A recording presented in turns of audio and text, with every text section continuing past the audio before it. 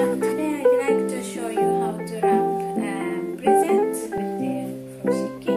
This is the uh, Great Wave by Hokusai Itsuki Furoshiki and he's a very famous um, artist. Um, in 18th century.